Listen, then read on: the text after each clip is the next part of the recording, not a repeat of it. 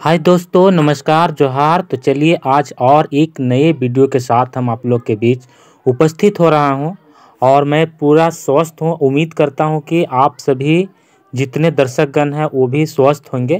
तो चलिए आज के वीडियो में हम जो सरकारी योजना की जानकारी देते हैं और उसके ऊपर कार्य करते हैं उससे हम दिखाने का प्रयास करते हैं। तो चलिए हम आ चुके हैं ये नामोदक पंचायत के सदवा डी गाँव है। सदवा डी गाँव के नवा टोली प्राथमिक विद्यालय है।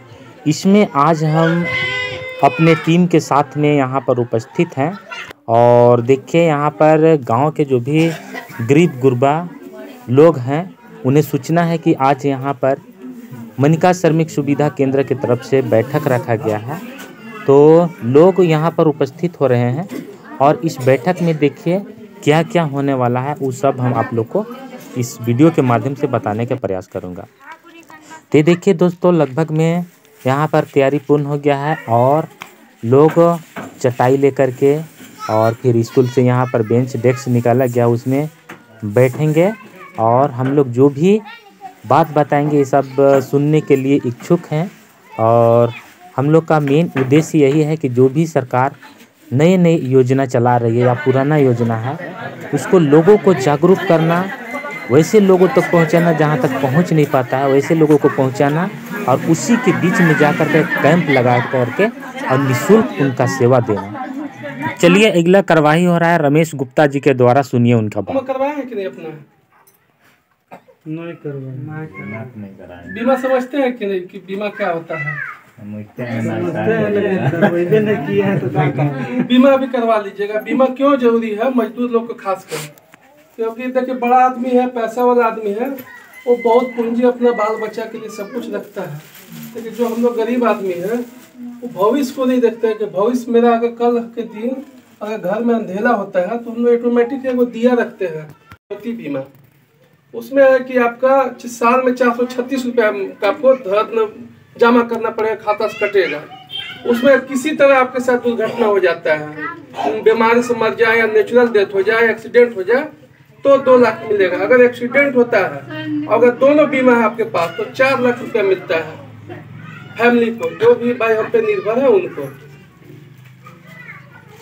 ये आप जो नहीं करवाए हैं एस का खाता है, आधार कार्ड, पासबुक लाएँगे तो करवा लीजिएगा वो एकदम उसको सोचिए कि हमको तीन चार सौ रुपया लग रहा है, वो ढिबरी है मेरा घर का। उतना मेरा मट्टी तेल जल जाता है, साल में उसी तरह समझिए मेरा जल जा रहा है। लेकिन कभी भी अंधेला होगा हमारे घर में तो उसी से इंजोला होगा। आप लोग को इसमें क्वेश्चन है। लगता है कि आप लोग पैसा मेरा फालतू कटता है फालतू चीज़ है।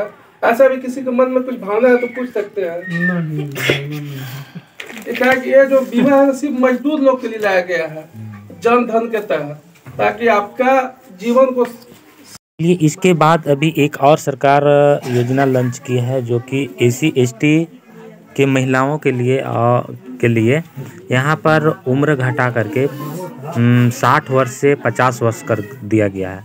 इसे मुख्यमंत्री राज्य वृद्धावस्था पेंशन कहा जाता है। तो इसके बारे में हम इन लोगों को जागरूक कर रहे हैं और आधार कार्ड वोटर आईडी में देखने के कार्य कर रहे हैं। और इसके बाद देखिए रमेश गुप्ता जी के द्वारा लोगों को समझाया गया और इनका भविष्य में आने वाला समस्या को लेकर के हर कोई के बैंक में खाता है।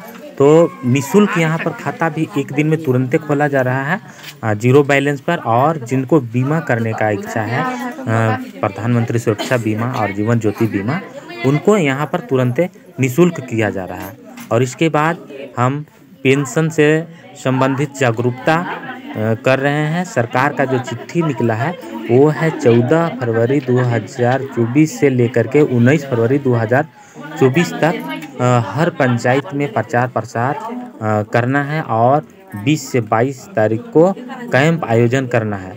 उस कैंप में सभी लोगों के जो वंचित लोग हैं, जिनका उम्र हो गया है, जो योग हैं, उनको पेंशन के लिए फॉर्म अप्लाई किया जाएगा और इसके बाद 20 से 26 तारीख तक अंचलाधिकारी सी ओ सी आई वेरिफिकेशन करेंगे और उनतीस तारीख तक उनको ऑनलाइन अति किया जाएगा निपटारा किया जाएगा। और प्रत्येक पंचायत में एक सीएसी प्रज्ञा केंद्र वाला को डिपुट किया गया है सरकार की तरफ़ से। अगर जो भी फॉर्म आता है वहाँ पर तो उसे व्हाट्सअप या जीमेल के माध्यम से वहाँ पर जाएगा। चलिए दोस्तों हम आप लोग के बताते हैं जो पेंशन का फॉर्म निकला है उसका नमूना।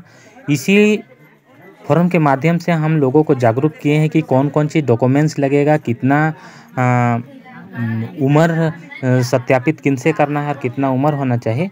तो ये रहा हमारा जो है नया जो मुख्यमंत्री मुख्यमंत्री राज्य वृद्धावस्था पेंशन का जो फॉर्म आया है, इसमें लोगों के बीच में हम निशुल्क कुछ वितरण फॉर्म किए हैं और इसके बाद इसके माध्यम से पढ़ के पूरा समझा दे चुके हैं, ताकि जो अभी 20 तारीख से 22 तारीख जो हर एक पंचायत में शिविर लगने वाला है, उसमें कोई वंचित ना रह जाए। तो सभी कुछ डॉक्यूमेंट्स जो जो लग रहा है उसके बारे में पूरा बता चुके हैं। तो यहाँ देखिए, घोषणा पत्र है इधर और आगे वाला जो था उसमें फ़ोटो था, आधार कार्ड था और फिर उम्र का सत्यापित बीएलओ से करना है। अब यहाँ पर आवेदक का हस्ताक्षर करना है और फिर देखिए दोस्तों, जो पुरुष वर्ग के लोग हैं, उनके लिए जाति का भी और यहाँ पर हम अगला पेज में देखते हैं यदि आवेदक, आवेदिका दिव्यांग या विधवा है तो उसके लिए भी कुछ शर्त रखा गया, जैसे दिव्यांग है तो उसके लिए दिव्यांगता सर्टिफिकेट और विधवा है तो उसके लिए उसका हस्बैंड का मृत्यु सर्टिफिकेट इस तरह का लोगों को, लोगों के बीच सभी तरह की जानकारी वहाँ पर दे दिया गया है, ताकि जो बीस से बाईस तारीख तक होने वाला शिविर है, उसमें वंचित नहीं रह जाए। तो चलिए दोस्तों, आज आज की वीडियो में इतना ही, और हम अच्छा तरह से हम जो पेंशन के बारे में है, उसको अगला वीडियो में हम आप लोग को बताने का प्रयास करेंगे। तो बने रहिए और देखते रहिए और हमारा वीडियो अच्छा लगे तो लाइक एवं सब्सक्राइब भी कीजिए दोस्तों।